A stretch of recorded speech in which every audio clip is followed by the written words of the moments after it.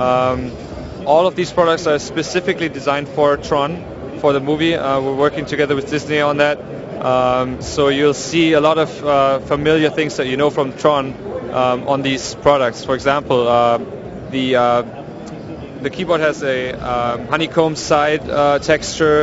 It has this light strip that um, lights up from left to right when you power up the keyboard, so it looks like it's, it's kind of rezzing to life, like in the movie.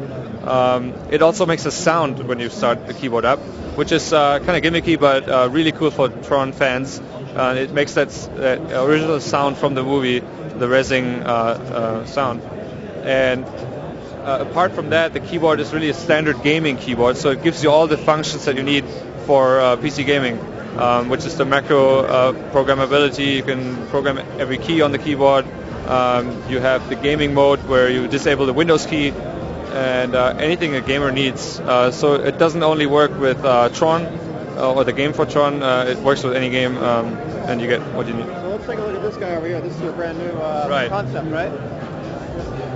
This is the most important thing that we're showing this year. It's, it's called the Razer Switchblade and it is for the first time um, a, a, PC gaming system as opposed to uh, PC peripherals that we've been doing in the past. Um, so this is a, a very portable um, PC gaming laptop that has a touchscreen on the top and it has an adjustable keyboard on the bottom. That means um, there's an LCD screen below the keyboard um, and the keyboard is transparent so the LCD shines through the keys which feel like a normal keyboard but change um, according to what program or game you're running on the system. So if you're running an FPS game, you're getting those controls from that specific FPS game uh, mapped on your on your keys. And if you're then going back to browsing or uh, typing something up, uh, you'll get the regular QWERTY keyboard uh, displayed on the keyboard, which is really quite uh, uh, interesting to see how that switches back and forth.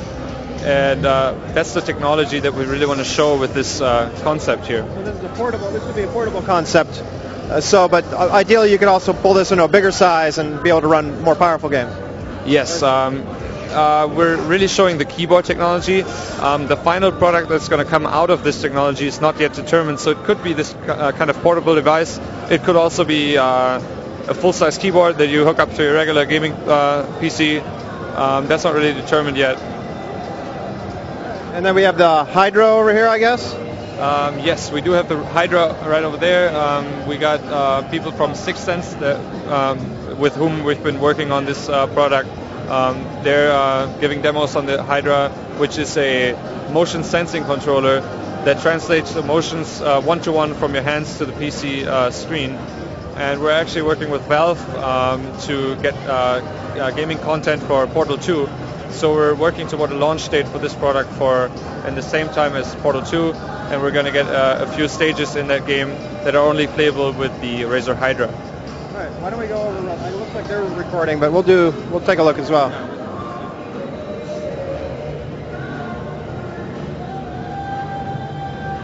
Yeah, there's a demo going on right now. Um, this is actually one of those stages of uh, Portal 2 um, that are only playable with the Razer Hydra. Um, so he can do uh, special movements with the Hydra. Okay, cool. All right, perfect.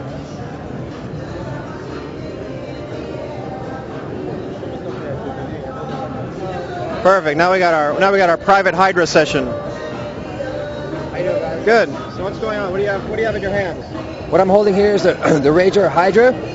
It's a magnetic motion device developed by Sixense very high precision, one millimeter of uh, accuracy, one degree of accuracy in rotation.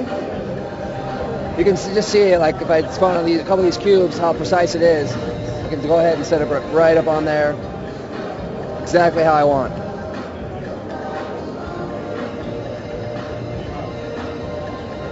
Right, pull it out from it. I get a freebie by just being able to do this. I can just throw it. Oops. I can just throw it. We've added some special content for Portal 2, the scalable cube, by using custom Razer controllers.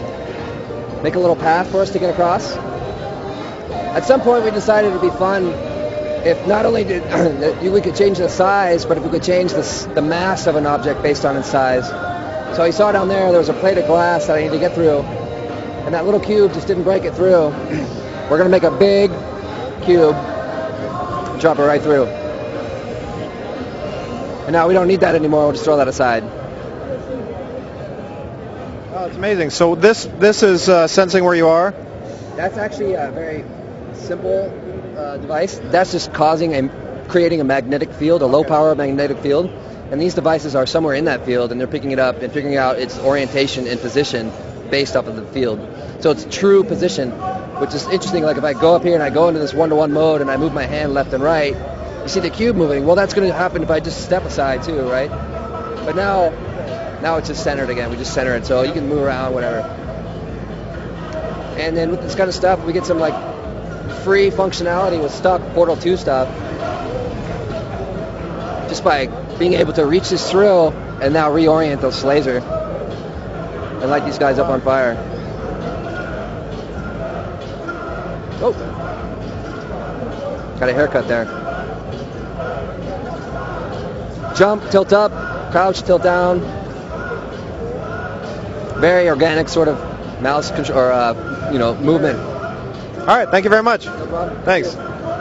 Oh, I was really impressed. Oh my gosh. So pretty. Getting a little bit sweaty right now. That was really impressive. I don't know if you guys can hear the music behind us though.